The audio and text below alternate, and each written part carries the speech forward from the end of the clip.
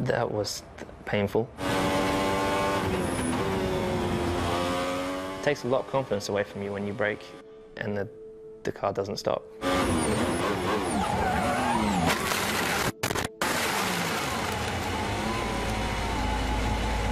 Okay, Lewis, let us know you're okay.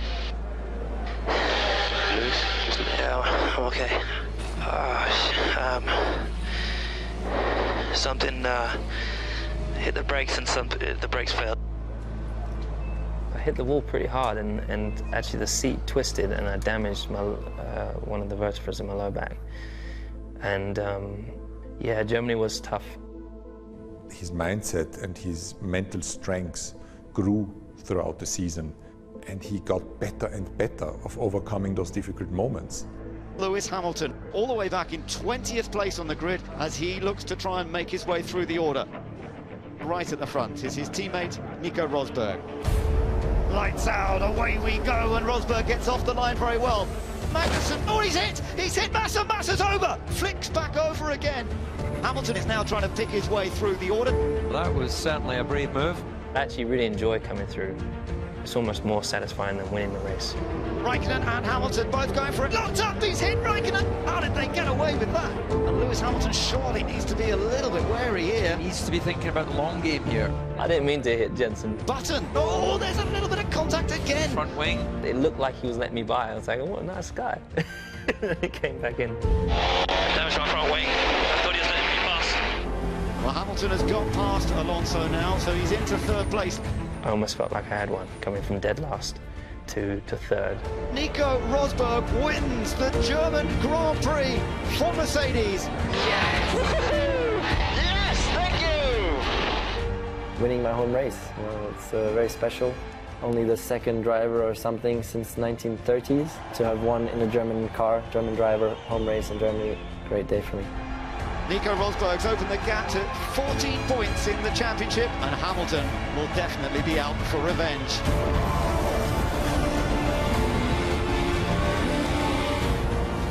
I knew this weekend I've got to bounce back. I know I'm quick. I've got an extra few tenths in my pocket, so when I need to bring it out, I'm going to bring it out, and I'm going to get pole. Fire on Hamilton. Then all of a sudden, look in my mirrors and got flames coming out. I'm like, no. Oh, for f***ing sake. Stop, jump out, jump out. And I just remember standing there looking at the car and seeing Nico kept coming past. I'm like, oh my, this, this guy's car never stops. Look at the slow walk of disappointment. It's the sixth pole position of the year for Nico Rosberg. yeah, there's lots of things going through my mind. It's getting to the point that it's kind of beyond bad luck now, so we need to do better. Rosberg gets off the line. Hamilton waiting in the pits to start this race. Hamilton's gone off. He's joined from the pit lane. He's gone straight off down at turn two. Oh my god, that was horrible. I was not happy with myself there. But then to come through, you know, real serious damage limitations. Accident for Marcus Ericsson in the Caterham. Everybody will be gathered up behind safety car. Do we see some pit stops? Hamilton, unsurprisingly, has come in. All of those who stayed out are now heading in. And Rosberg is going to lose out as a result of this. And now Rosberg's under pressure from Alonso. Alonso goes through, and there's only one car between Rosberg and Hamilton. Would you believe it? Vettel here being chased by Hamilton. Oh, oh the Vettel! Vettel has spun, but he's not hit anything. Rosberg rejoins, and now we're going to see him really put the hammer down. Okay, Lewis, gap to Nico, one second. He's on the option tie. He has one more stop, so don't hold him up. Why is he not letting me through? Okay, Lewis, if you let Nico pass this lap, please. Let Nico pass on the main start finish straight. Yeah, that's never something you want to hear. I think that's a tough call by the team. I'm sorry. They are racing. Hungary, we did what we discussed. It was clear that if a driver would run on a different strategy and he would have to have one stop more to do, then the guy in front would make his life difficult. People have opinions about that. Um, I think for me, it was just, I was really not expecting it. And then to hear that after what I've just been through, you know, Nico started on pole. Okay, the safety car caught him out, but it's not as bad as starting from the pit lane and going off, hitting the wall, and coming back through all these people. There was suddenly much more in the equation than just a piece of paper saying these are the rules.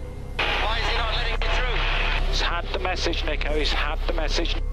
I felt like I really answered in the right way. I was just saying, you know, okay, well, I won't get, I won't block him if he, if he's coming by, but I'm not going to come off the gas and and let him come by so he can gain more points in the championship than me, because I feel like I've earned my way to this spot, you know, from dead last. So I plan on keeping it. I'm not slowing down for Nico. You get close and overtake, then you can overtake. Did you feel very let down that day?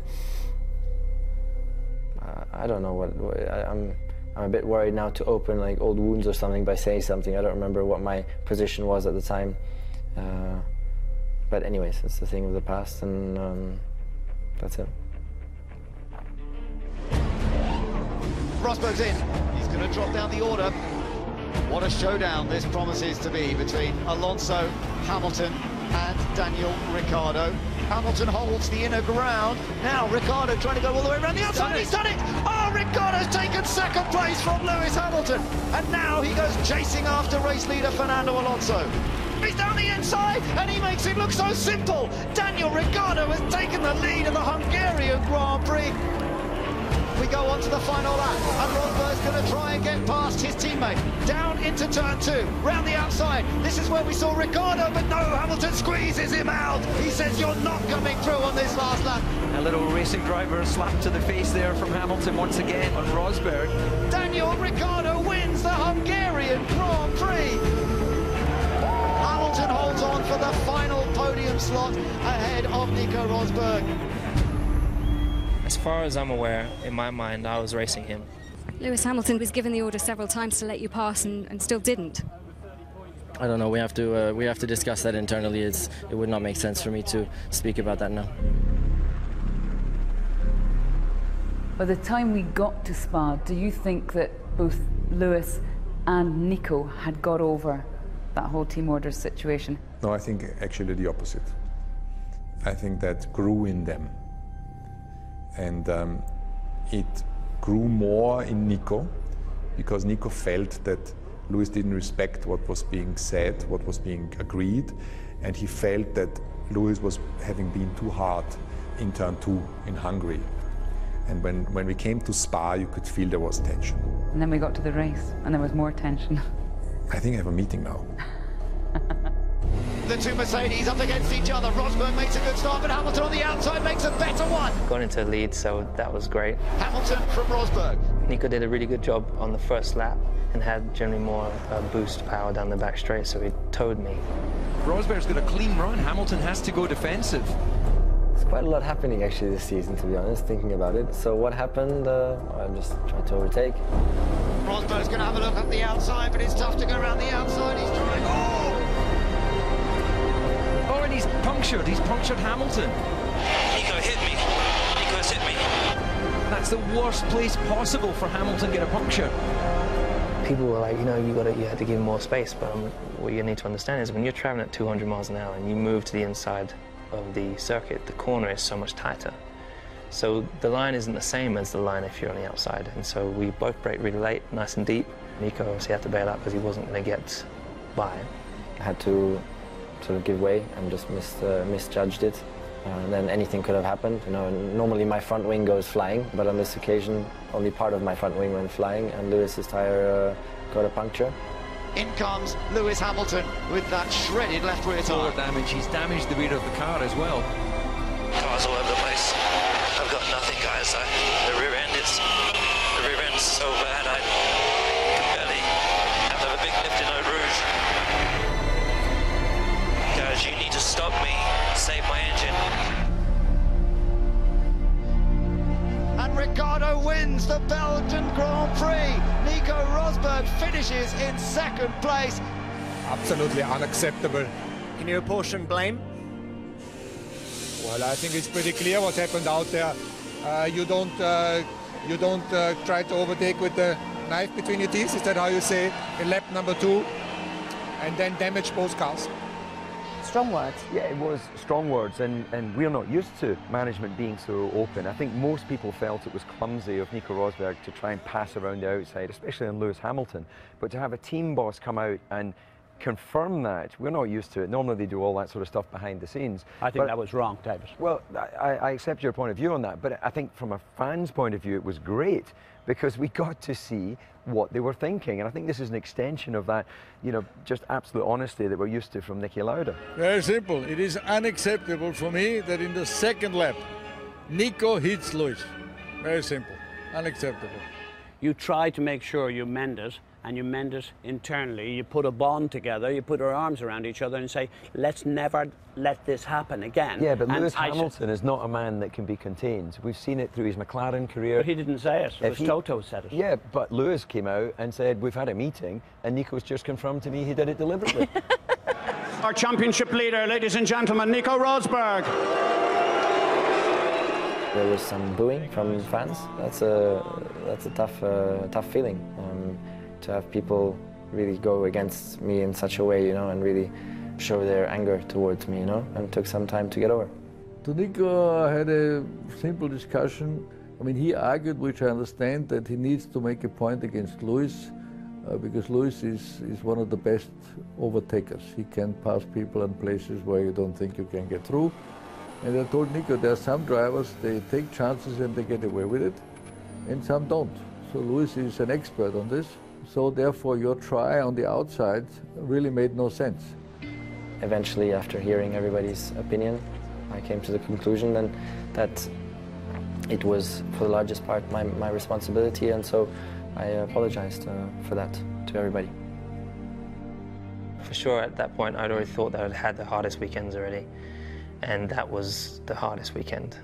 I don't know why he hit me, but uh, I'm sure he'll leave here happy you get to thinking that maybe it's just not uh, not my year, but you know I can't let that can't let that overtake everything. There's still seven races. I'm going to push. I'm just going to give it everything I can for these next few races because that's all I can do. This is a team that is bred to win, and all of us this year have felt the scalding pain of not winning and that pain probably the greatest at Monza when in front of our home crowd, in front of our Tifosi, not only did we not perform well, but we had the ignominy of a DNF. And now a retirement for Alonso on home turf as well. It's really been like an Italian soap opera, hasn't it? So after three races, the team principal, Stefano Domenicali, he's out. They bring in Marco Mattiacci to replace him. Seven months later, Mattiacci out. And the president, Luca de Montezemolo, he's out. It seems though Fernando Alonso didn't get on at all with Marco Mattiacci. When he was first confronted with all that team personnel change, plus an engine that wasn't good enough, a chassis that clearly wasn't good enough, what must have been going through his mind to resign and go to a team that he actually left under a cloud, which was McLaren. And for him to be going back there is a massive surprise.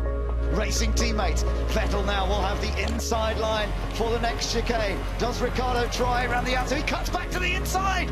He's got past his teammate. Sebastian Vettel could do nothing. We've talked about it so many times about where Sebastian has come from, what he's able to do, the championships that he's won and then to have this young cub come and and display the kind of talent. I mean, it was a double move, wasn't it? For me, it was. I, I was nearly dizzy watching this because it was such a great overtake.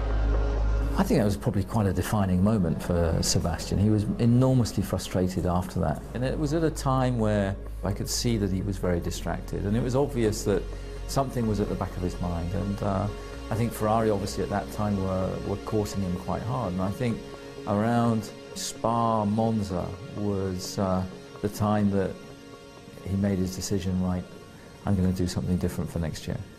He was, you know, he was actually physically in tears about it. Um, that it was like leaving home, but he decided to take on a new challenge at, uh, at Ferrari.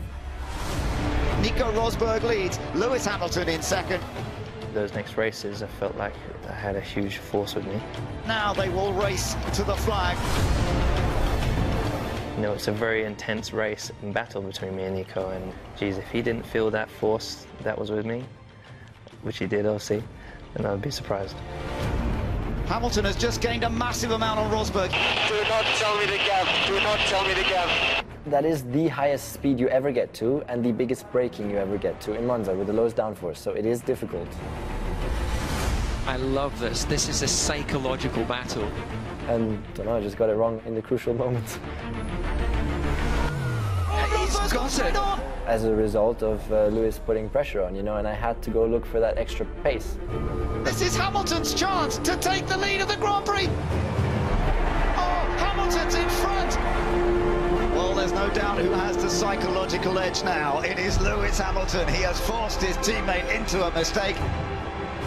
And Lewis Hamilton wins the Italian Grand Prix. What a result!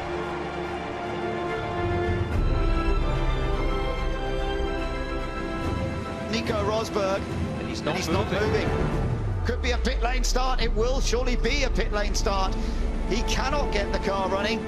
The only thing that is working on the dash is your gear shift paddles, okay? Well, he's had the lion's share of reliability this year. This could be a real opportunity for Hamilton. 22 points behind, 25 available for victory, of course.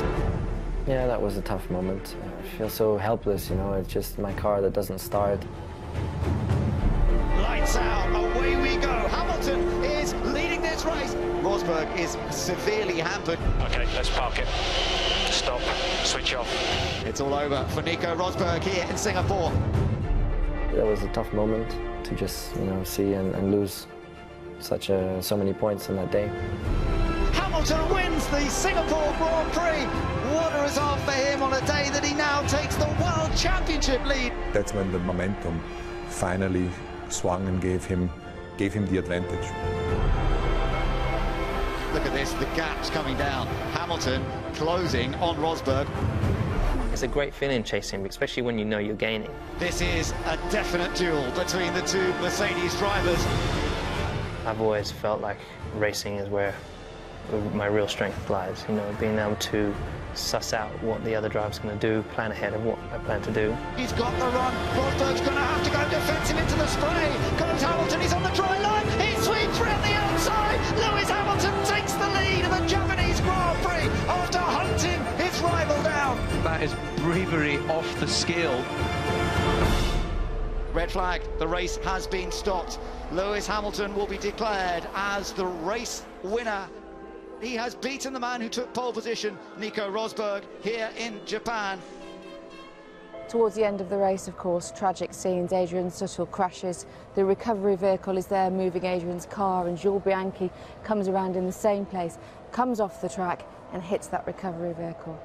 A lot of the drivers and a lot of the new teams, they hadn't been around certainly as long as I have to have seen what kind of uh, effect this has on the paddock in general and the drivers were absolutely shocked and uh, it was a massive accident, horrific in fact. Jules is back in his own country in France. He's on road to recovery. It will probably be a long one, but uh, fingers crossed we wish him every success. It was a shocking reminder of the dangers of Formula One and it, it was enabling the paddock to really come together in the support of the Marussia team and for Jules and his family. Lights out, away we go, and Hamilton gets away from pole position. Rosberg goes with him. Here comes Rosberg. Rosberg coming down the inside, trying to pass Lewis Hamilton. He looks up, he looks up. Just unnecessary, unnecessary mistake because it was my corner. But it really, yeah, just completely got me on it. It was unexpected for me to have that problem. And that's why it was such a huge cloud of smoke. Lewis Hamilton is going to win the Russian Grand Prix. Nico Rosberg finishes in second, and Mercedes have become the Constructors' Champions of 2014.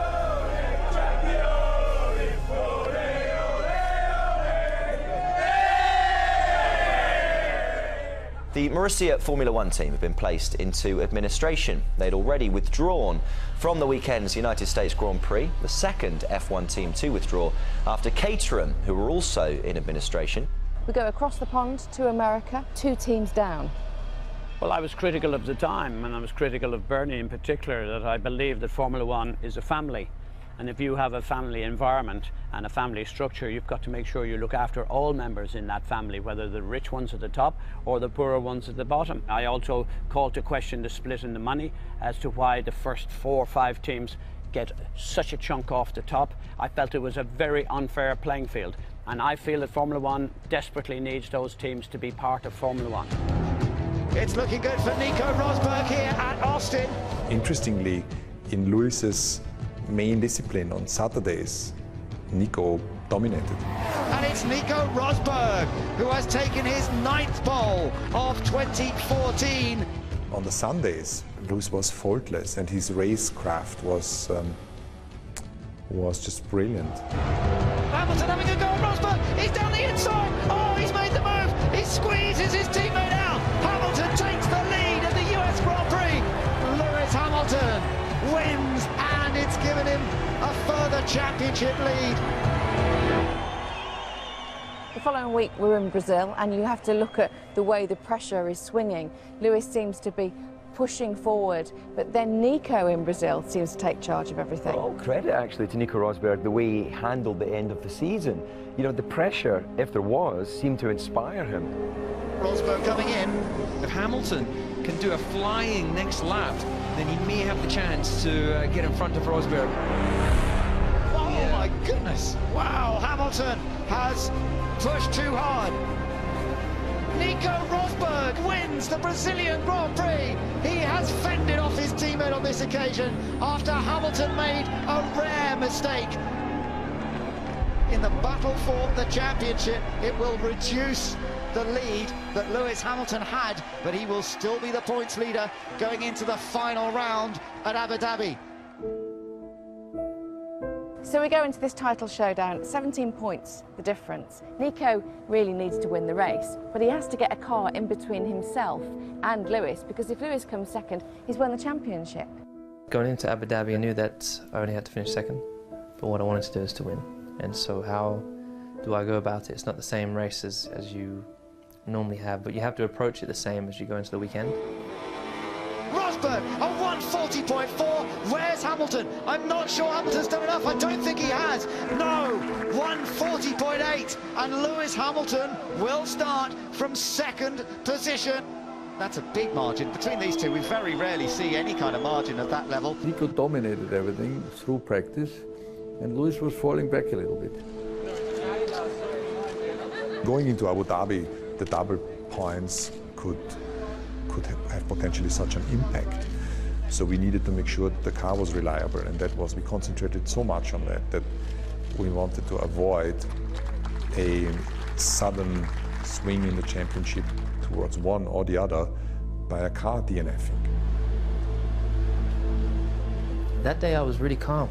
It's the calmest I've been all year. I don't know why. I felt really relaxed. I was like, this does not feel normal. So I was, I was worried about the fact that maybe I'm not in the zone because normally I have the butterflies and everything. It is the last race of the year. And that does make a difference. Because um, you can't say anymore, okay, well, you don't need to take, you know, you don't need to do this now because you still have two races to go, you know? Today, Nico Rosberg goes into the biggest race of his life as he attempts to beat Lewis Hamilton to the title. Hamilton has been here before, though. It is the fourth time he's gone into a season finale with a shot at the title. And of course, in 2008, he converted that chance. Now, he's on the threshold of becoming the first British driver in over 40 years to win multiple championships. All you're, you're trying to do is make sure, firstly, you don't jump the start. You're trying to react to the lights as fast as possible, so for every millisecond, it's like half a meter or a meter at the end of the straight. The two title protagonists are ready to lock horns for the final time this year. I felt relaxed, I felt controlled, had the best start ever. Hamilton's made a great start, a brilliant start from Lewis Hamilton, and he snatches the lead, and Rosberg gets into second place, but it is Hamilton who leads. What a start from Lewis Hamilton. Hamilton leads from his teammate Nico Rosberg. They are one and two, but not the way that Rosberg needs it. It's perfect for Hamilton at the moment. Long, long way to go in this race, of course. This is looking very strong at the moment for Lewis Hamilton. Rosberg can't keep up. Oh, massive lockup. Rosberg's now dropped to seven seconds behind Lewis Hamilton. Yeah, very slow last lap. Three seconds slower. Does he have an issue? Strange lack of engine power out of turn 14. Losing engine power. Yep, copy Nico, we can see it. Oh, what a shame if it goes this way. Anything I can do to keep it going? Anything do differently? We'll try, we're trying to solve it, Nico. At the moment, just keep pushing. Okay, Nico, so at the moment, ERS has failed. He's going to be in so much trouble now. That's 160 horsepower that he no longer has available. Okay, advise what's going on. The car switched off and now the throttle is all over the place. How tough was that for you? Very tough, because we let him down. Now you could say that probably the race was lost at the start uh, with with Lewis going, and it was clear that even you know Lewis winning or even finishing second behind Nico wouldn't have changed the outcome of the championship. So that is the only support I can give myself and the team um, justification.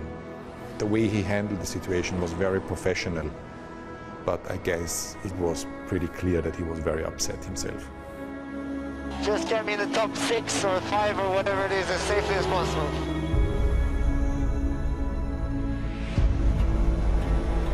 Then for me, um, I wasn't nervous about my car, but I was like, okay, please, rubbing the car, you know, hoping that, because, you know, she sounds perfect, she sounds fine, but it happens without you even having any warning. What else can I do to look after the car? We're just reviewing whether we need to turn the car off again. You let us know. I started missing all the curbs, so my, my time dropped off quite uh, a lot, you know, by around a second and a half or something. So then I think they started to panic because I didn't really tell them that I was slowing down that much. So Massa 46.8 last lap, 46.8. Need to pick pace up a little bit. I'm not racing Massa anymore. Okay, copy that, Lewis. How am I looking for that position finish that I need in case Lewis drops out? Uh, it's not good at the moment, Nico. Not good at the moment. Well, what the hell does that mean? Should I? What do I need to do on pace? Just drive flat out. That's all you can do, Nico. And Rosberg's going slowly, very slowly. It looks as though it could be all over. So, Nico, box, box, box. Too many problems with the car. Box, box, box. I would, I would like to go to the end. Stand by. We're happy for you to continue. That's great, actually. That is. that is great for Rosberg. Finish the Grand Prix. He can walk away from this race, his head held high. Okay, Lewis, uh, Nico looks to not be a threat now. Nico's not a threat now, so we can fight for this. At that point, I was kind of like, well, I want to, I want to win. I want to do it. Hamilton's responded. He's a tenth quicker in the first sector, just sending a message that, well, look, you can try, but it's going to be in vain. You know, I've always dreamed of, of winning the World Championship, but winning the last race. He goes on to the final lap. The world title is heading his way. I could see the crowd starting to cheer in the corner of my eye. And I was like, keep yourself calm. I was like, oh my God. This is, I've gone the distance. Like, this is it. I just couldn't believe it. And it came around the last corner and that was it. It came off the gas and I was like, wow. Lewis Hamilton is the 2014 world champion. I think it came across the line. I think it's more of a feeling of relief and just being incredibly grateful.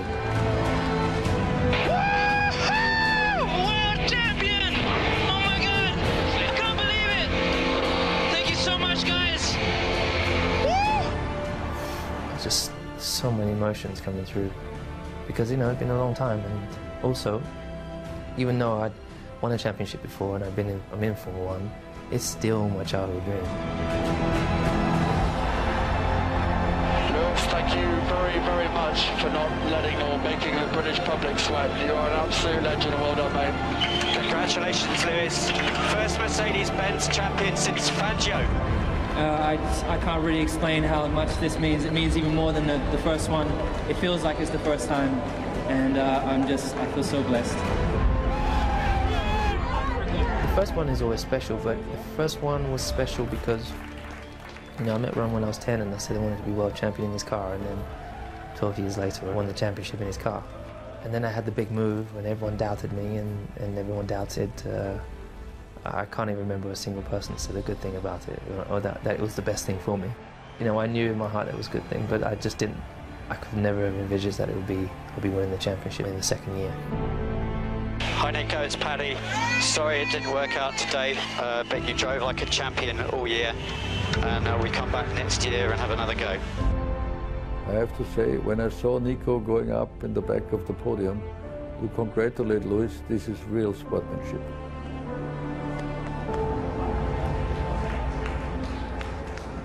I had a heartbeat when I saw that because I've been through all the stress with the two drivers, and that showed again what incredible teamwork we all have. And between the two guys, there was a lot of aggravation going on, and then one, when one won and the other one lost, this is the most difficult time for a racing driver, when you lose a championship. And then Nico went up there and congratulated him. I really had a lot of respect for it. Emotions very disappointed. Um, then, uh, but all in all, you know, uh, Lewis deserved to win the championship today. Yeah, that's that's clear. Um, and what happened to me didn't have any didn't have any impact on that. You know, I mean, he was out there winning the race, and and um, so uh, yeah, whatever my race didn't didn't change anything. All in all, yeah, he just did that little bit better job than me in in in, in this year, especially in the races. You know, just a tiny bit which I need to find. He is probably the, the best, or he was the best on the grid this year, you know. And I was up against, up against him. Came very close. So um, yeah, pity it didn't work out. But uh, still, it's proud. I'm proud to be in this moment, you know, with the team. It's been a very special year.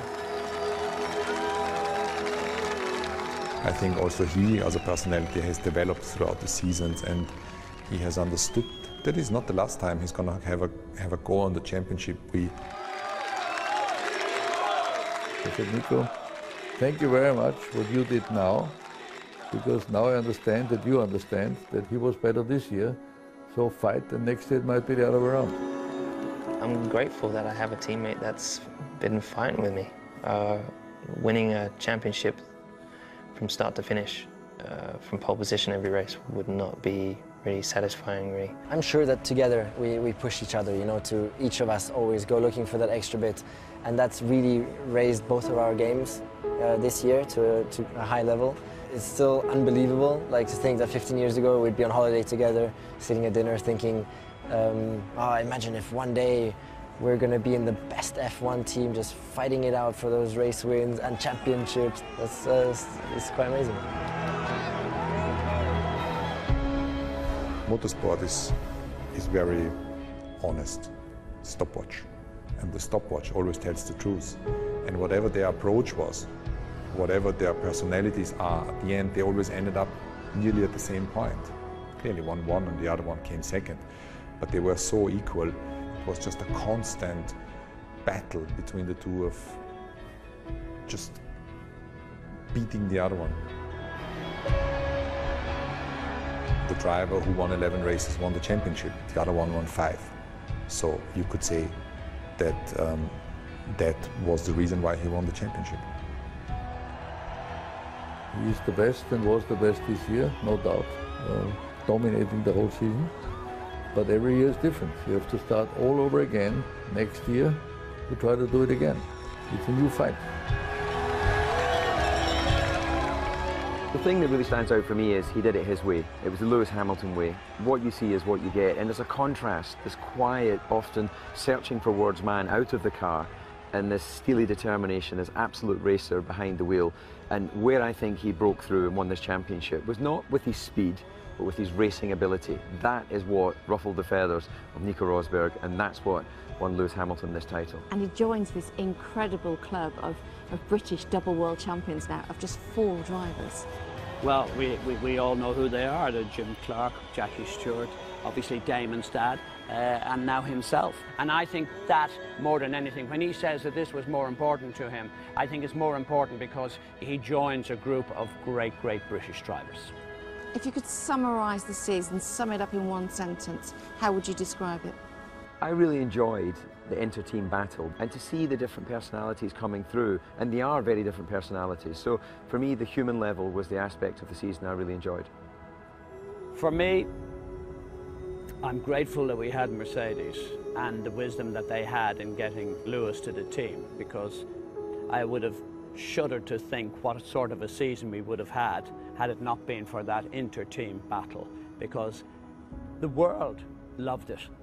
They got it because nothing like a fight, not just two drivers, but the fact that they're part of the same family, it's amazing, you know, you couldn't write it. Hollywood script, we had it all.